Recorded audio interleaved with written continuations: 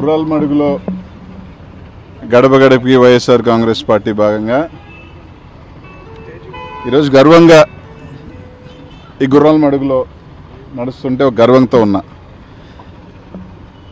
సరేపల్లి కాలువకు సంబంధించి ఈ ప్రాంతంలో కట్ట మీద ఉన్న వాళ్ళు ఈరోజు తీసేస్తారు రేపు తీసేస్తారు అని బిక్కుబిక్కుగా బతుకుతూ వర్షాలు వచ్చినప్పుడు ఆ చెమ్మ వాళ్ళ ఇళ్ళకి తగులుతూ పందులుంటూ రకరకాలు ఉన్నాయి. మేమే డెవలప్ చేసాం మేమే డెవలప్ చేసాం అని చించుకుంటున్న వాళ్ళు కనీసం ఏమీ చేయకుండా డూప్ మాటలు మాట్లాడిన వాళ్ళు. ఈరోజు నేను మంత్రి అయిన తర్వాత జగన్మోహన్ గారు ముఖ్యమంత్రి అయిన తర్వాత నేను సరేపల్లి కాలువ లైనింగ్ తీసుకుంటే ఇక్కడికి వచ్చి మీ ఇల్లు కొట్టేస్తారని అబద్ధాలు చెప్పి వాళ్ళకి నేను చెప్పాను మాట ఇచ్చాను.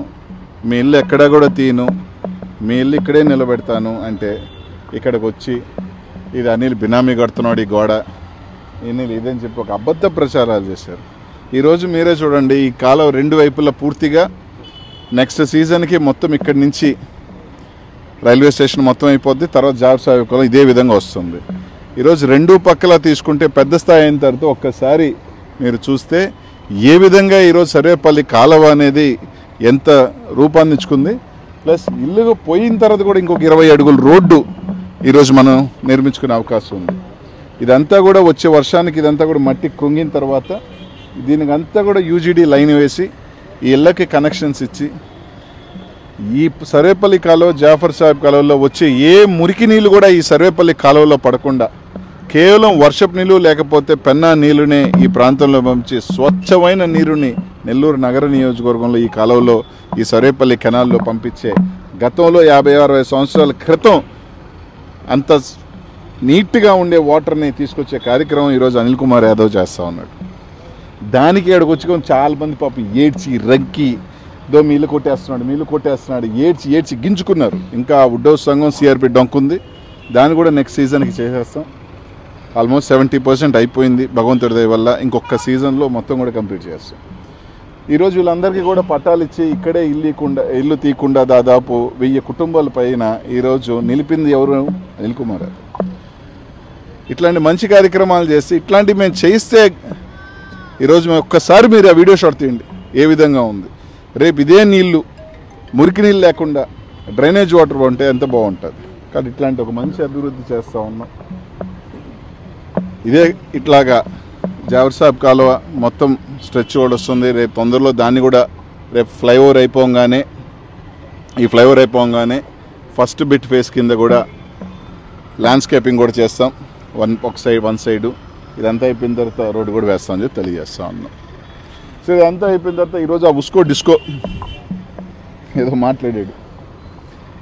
రెండు నెలల తర్వాత దొంగలు పడిన మళ్ళీ మొన్న చెప్పా. అరే ఉస్కో డిస్కో. కనీసం ఎవరైనా కాగితం పంపించి ఇది మాట్లాడరా అంటే ఆ కాగితంలో ఏముంది? ఆ కాగితంలో ఎంత నిజం ఉందో తెలియకుండా మాట్లాడు. నేను అందుకే నువ్వు చెప్పేది ఏమీ కావు నువ్వు పెద్ద వీపీవని ఏం చెప్పావు? నెలకి పదహారు బార్లు ఉన్నాయంట. పదహారు బార్ల నుంచి నెలకి నాకు నాలుగు కోట్ల. ఒరే కనీసం లెక్కలు తెలుసు నీకు? లెక్కలు తెలియదు ఎవరో కాగితం పంపించుంటారు. మూడు ఒక రెండు లక్షల ఓ మూడు లక్షల ప్యాకెట్తో పాటు ఏదో ఈ కాగితం పంపి చదువు అని చెప్పుంటాడు. దాన్ని ఎత్తుకొని ప్రెస్ మీట్కి వచ్చేసాడు. దాపులు ఏముందని తెలియకుండా. పదహారు బార్లు సగటున రెండు లక్షలు జరుగుతుంది అనుకుందాం ఇందాక అడిగా. ఒక బార్ పిల్లోడిని. ఎంత జరుగుతుందిరా? నా ఒకటి డెబ్బై రెండు జరుగుతుంది. సరే రెండు లక్షలు కూడా వేసుకో.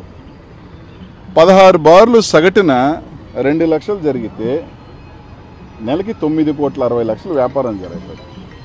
అరే తొమ్మిది కోట్ల వ్యాపారంలో వాడు ఖర్చులు వాడు మెయింటెనెన్స్ వాడు వడ్డీలన్నీ తీసుకొని ఒక పదిహేను పైసలు మిగులుతుందా? పది కోట్లకి పదిహేను పర్సెంట్ ఎంతరా? ఒకటిన్నర కోటి.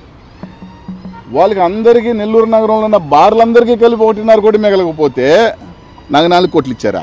నాలుగు కోట్లు ఇస్తారా? ఎట్రా ఇంట్లో తెచ్చిస్తారా? ఇంట్లో తెచ్చిస్తారా? ఇందుకురా నేను చెప్పేదే చదువుకోనన్నా చదువుకోండి సక్రంగా కాలేజీకి వెళ్తున్నప్పుడు. అది చెయ్యం సరే కాగితం ఇచ్చిన పక్కన వాడికన్నా లెక్కలు చూపించి ఉండాలి అది చెయ్యం ఒరే ఒకసారి కనీసం నీకు రాత్రి రెండో మూడో ప్యాక్ లక్షల ప్యాకెట్ ఉంటుంది దాంట్లో దాంట్లోనే కాగితాలు లెక్కేసుకున్నా. మిస్ప్లేస్ ఏంటో చూసుకో. పూసుకో డిస్కో. ఎందుకురా? మళ్ళీ ఏంది?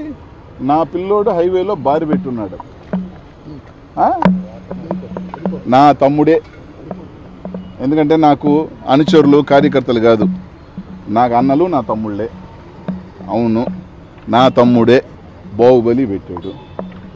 ఒరే ఎదవా లాస్ట్ ఐదు సంవత్సరాలు నీ ప్రభుత్వంలో కూడా ఆ తమ్ముడు బాహుబలి పేరుతో ఇదే నేషనల్ హైవేలో ఇది నేషనల్ హైవేనే. బారి పెట్టాడు. నీ తెలీదా? ప్రెస్ వాళ్ళందరికీ తెలుసు Baahubali wines. Last five years కూడా ఉన్నింది. నీ ప్రభుత్వంలో కూడా. ఈరోజు కూడా పెట్టుకున్నాడు. వైసీపీ ఎవడైతే వ్యాపారం చేయకూడదా? ఇప్పుడు మందాకిని ఎవరిదబ్బా వెంకటేశ్వర నాయుడు. నీ ఫ్లెక్సీలో కదా కడతాడు? మందాకిని. ఆ? జయరావు నాయుడు. వెంకటేశ్వరంలో ఉన్న మండవరామయ్య. ఏ పార్టీరా? మీ పార్టీ కదా? వీళ్ళందరూ బారులు మీ పార్టీలు కదా? ఇంకోటి ఏదో బీజేపీ వాళ్ళు ఉన్నారు కృష్ణా చైతన్య పిల్లోడు బీజేపీ పిల్లోడు. బీజేపీ వాళ్ళు వేసుకుంటారు వైసీపీ వాళ్ళు వేసుకుంటారు తెలుగుదేశం వాళ్ళు అందరూ వేసుకున్నారు వ్యాపారాలు అడుగు మండవరామయ్యకి ఎంత వస్తుంది? మీ తెలుగుదేశం వాళ్ళకి డైలీ షీట్ తీసుకో. ఎంత వస్తుంది? నెలకి ఎంత వస్తుంది? కానీ సొల్లు వాగుడు వ్యాపారా పదహారు బారులకి ఆదాయం నువ్వు నెలకి ముప్పై ఇరవై ఐదు లక్షల రూపాయల ఆదాయం వచ్చంటే ఇరవై ఐదు లక్షలు నాకే ఇచ్చేస్తున్నారు.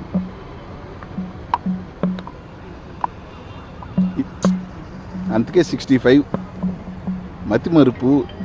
అందుకే సిక్స్టీ ఫైవ్ రంగు వేసుకొని పిల్లోడు అనుకుంటున్నాము తాత your sixty five your senior citizen of Nellore your senior citizen of Nellore మేమే కుర్రోళ్ళమే. తెల్లంటికి వేసుకుని తిరుగుతున్నాం.